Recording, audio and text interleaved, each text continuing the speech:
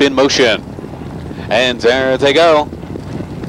They're off and trotting with Glory's Comet and Good Times, leaving the most along the inside, and Moni Maker is going to tuck in from third. Here's B-Corps Pete sent up on the outside from fourth. Lookout Victory is eased away in fifth. That's Magician taking sixth in line around the first turn, and Turnpike Token will be in the trailing position. It's Good Times on the inside, B-Corps Pete on the outside, Glory's Comet right there a tight third. Eased off the speed from fourth by about four more lengths. That's Moni Maker. They were on down to the quarter, battling still in 27 and 4 and B-Corps Pete hard tested in the first of three turns is the leader as they come to the wire the first time and Glory's Comet is already up and moving.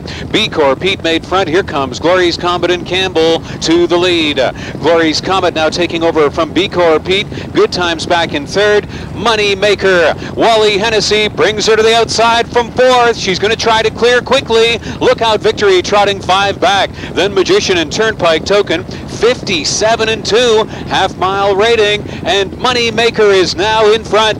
That's Moni Maker leading it by a length on Glory's Comet around that turn. B-Corps Pete Hart used early is back in third. Good times following up from fourth. Lookout Victory stayed in from fifth. Magician is sixth on the outside, and Turnpike Token is tipped up from seventh.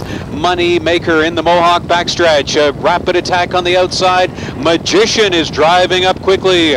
Moni Maker trots on. That's Magician on the outside. Glory's Comet now back in third. Turnpike Token is fourth on the outside. B-Corps Pete is fifth. Then Lookout Victory and trailing is Good Times. They pass three quarters in 127 and 4.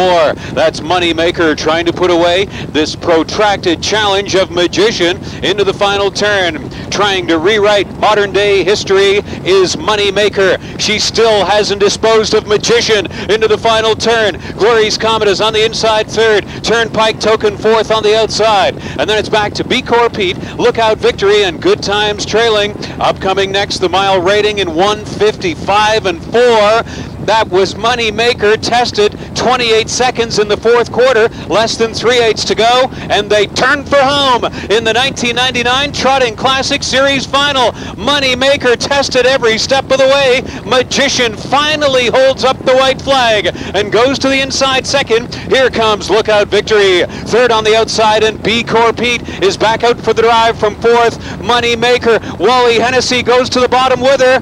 Moni Maker is the world's ultimate money maker. She's won the 99 Trotting Classic final over Magician and Lookout Victory and B-Corps Pete. Moni Maker rewrites world horse racing earnings history and she's made herself chapter one. And certainly chapter one is the Queen of Trotters. Gentlemen, uh, Moni Maker just became the richest standardbred in the world, uh, passing Peace Corps' mark. And one of the, uh, in fact, two of the connections are joining us now here on uh, the OJC television network. It's Wally Hennessey, a native of Prince Edward Island. And uh, Wally, you've been driving this horse throughout her career. Uh, she's must be just like a wife to you.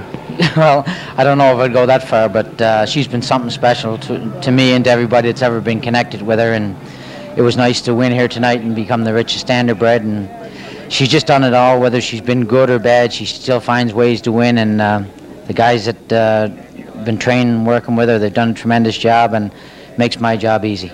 I'll tell you, David Miller didn't make it easy on you tonight, did he? No. Um, I, I, moved her here coming by the grandstand the first time. We were going pretty good there, but when John made the front, he slowed down a little, and uh, I thought I was going to get a breather when I got to the lead. And I just started to get the breather, and, and Dave came with Magician, and that horse won a tremendous race there tonight. But uh, she just has such a will to win; it's it's unbelievable. And uh, like I said before, it makes my job easy. Okay, let's bring in uh, Jimmy Takter. Jimmy, congratulations to you. Uh, you were pretty emotional in the winner's circle. This must mean a lot to you, especially when you're from uh, cross seas in Europe and trotters are what uh, you horsemen train over there. Well, definitely, you know, it's a big honor to train, uh, you know, the richest standardbred in the business, and uh, just be involved with this horse just uh, been a great experience for me. Now, what is going to happen to Moni Maker now? Is she heading back to Europe? Uh, is she going to be bred? Is she going to continue to race? What's the deal? She's flying on Monday to Milano and racing uh, in uh, San Siro the 14th of November.